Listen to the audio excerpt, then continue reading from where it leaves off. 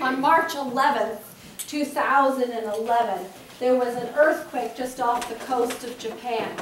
And that triggered a giant tsunami. And the tsunami washed over the land and it took away cars and trucks and homes and over 15,000 lives. Lucy Walker's film, The Tsunami and the Cherry Tree, documents the journey from the people's initial grief and frustration and shock through a year of rebuilding until the cherry blossoms came again. Cherry blossoms are sublimely and uniquely, exquisitely beautiful and very fleeting.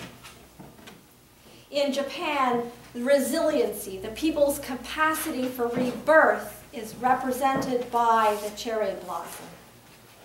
A young woman in her movie says, every year that the trees bloom, they give us courage to keep going. They blossom as they watch over this town. They saw the tsunami, and they will see us revive. It's a beautiful story of courage and strength and hope. The Japanese are not the only ones to use a tree as a symbol of hope. More than 600 years before Jesus was born, the people of Judah and Israel were squeezed in a vice between the powerful Assyrians to the north and the mighty Egyptians to the south and to the west. Assyria eventually conquered those two little nations and the people lost everything that gave them a sense of personhood. They lost their homeland and their temple. They lost all their possessions and their family and friends. And they even lost their freedom. And in the middle of all this mess, the prophet Jeremiah brought a message from God.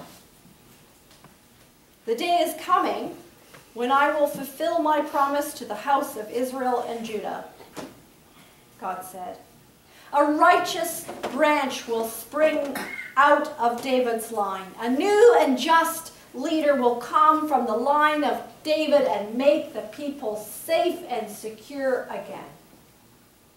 Now, a prophet's job is not to foretell the future. It's to analyze the current present and then speak to that so that leaders can make a decision, a right good decision. So in the middle of life's worst woes, of collapsing security and disorientation, Jeremiah is reminding them that God has a word, that God has a plan, that God has gracious promise which God will fulfill. Jeremiah gave them a reminder of God's promise in the image of a tree. A tree felled by the axe of brutal oppression, but one firmly rooted in the people's memories and their values from the past, rooted in the Torah and in the history of God with them.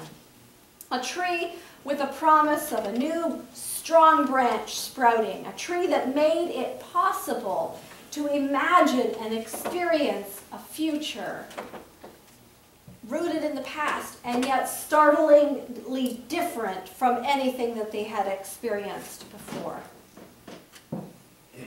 Where in your life do you long to return to the way things were? Where in your present do you see the sprouting of God's plan for you now? And where in your life do you see a sign of the hope for your future? That it will be just and secure so that one day you might shout, just as they did, God has set things right for us. Now, the Old Testament offers us God's promise, and the New Testament points to the fulfillment of those promises.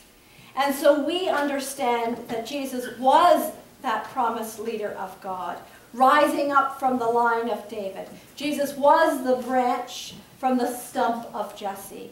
Jesus came to show us what justice and righteousness look like on a personal, human level.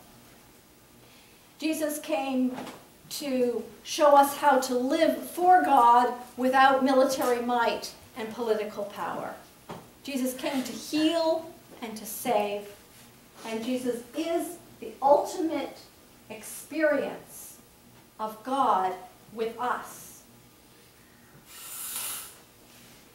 And yet, people still found themselves in a wee spot of trouble. In the first century, it was the Romans rather than the Assyrians or the Egyptians that were squeezing the people.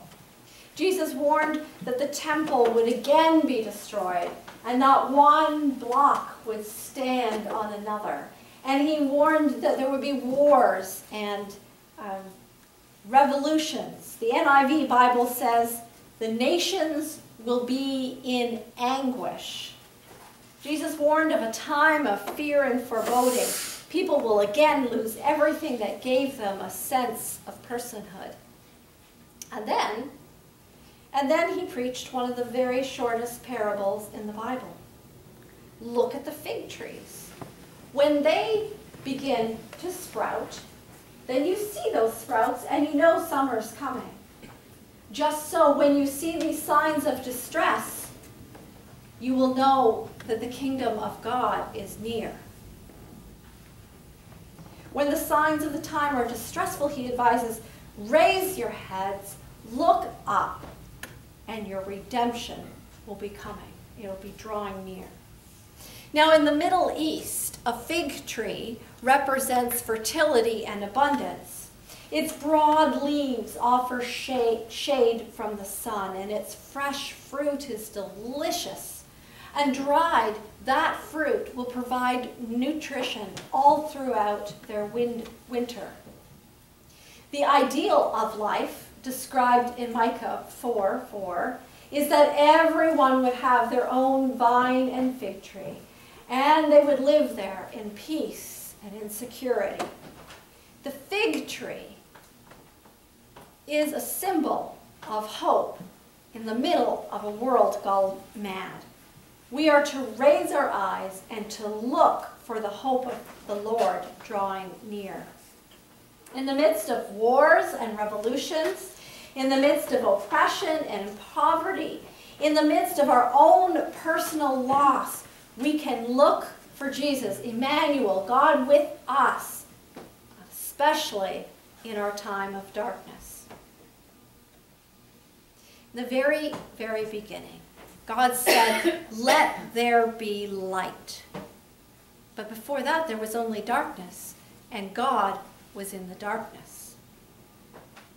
When Moses went to receive the Ten Commandments, he went up the mountain, but the mountain was shrouded in darkness. A great thundercloud had descended on it. And yet, God was in that darkness. On Easter morning, before the light began to shine, when it was still dark, Jesus was rose up from the grave. God was in that darkness. In our dark times, in our misery, in our broken-hearted, evil, frightening times, we can draw strength and hope from God because God is with us in our darkness. We can lift our heads up because our rescue is coming. Our recovery is near. Our revitalization is drawing close. Hope is the conviction that the desirable is obtainable. It's the belief that events will turn out for the best. Now, hope does not contradict the reality of death and destruction or the toll it takes when life implodes and we feel assaulted on every side. But hope, in the middle of grief, acknowledges that the past was real and won't be the present again. But in hope, you also know that life is for today, that this is the present. Only this moment have we to embrace the courage that God gives us by being near. So, in hope, we can shape our future with God. I spent the latter half of this week with my mom. My dad died at the end of August, just three months ago. And being in my parents' Florida home was, um, it's a location that's strongly entwined with memories of my dad, and so it was a bittersweet time for me. I sat in his chair. I worked in his computer nook. And I went and had coffee with his friends that he loved so and who actually knew him well. And the physicality of being in that place where he was and being with those he loved, it, it kind of reinforced the physical connection to my dad, the connection based on our senses of touch and see and, smell. But all my wishing or longing was not going to make the, bring him back. Death has separated us bodily, but it has not and cannot take away the connection of our hearts, our love connections. So as I sat at his computer nook, troubleshooting my mom's new internet connection, I drew on the years of shared computer experiences and his advice to stay calm and open to the solution.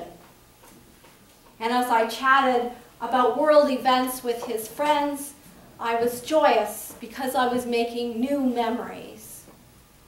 And because I was Peter's daughter, the daughter of an Apple guru, they asked me if I had inherited the Mac gene and they said, oh, can you resurrect this iPad? And I felt my dad smiled when the iPad unlocked and was restored to full function.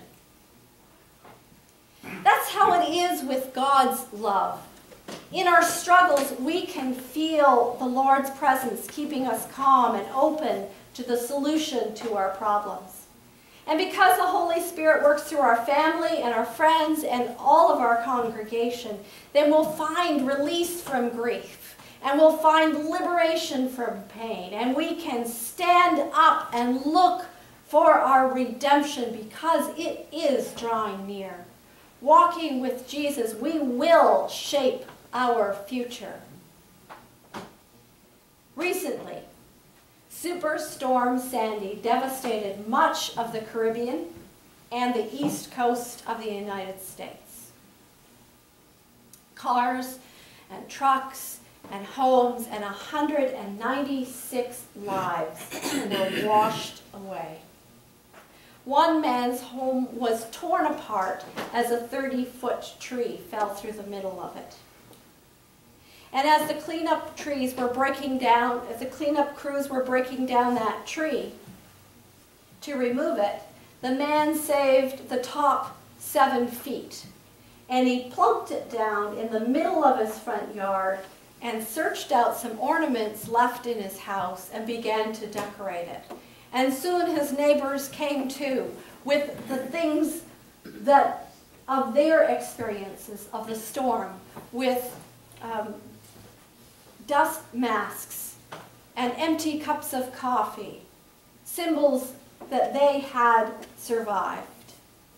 It was a sign of resilience, a sign of hope, a desire to rebuild in the midst of devastation. Advent is a season in which we remember that we are people of hope. We are Christmas people. We sing to Emmanuel because God is with us. And when we sense that we're lost in darkness, Advent reminds us that we are not alone. The God of hope is with us. And Jesus warns us not to get distracted by the worries of the world, but to lift your eyes and look upward because Jesus, even in the midst of our difficult times, is coming close. Amen. Amen.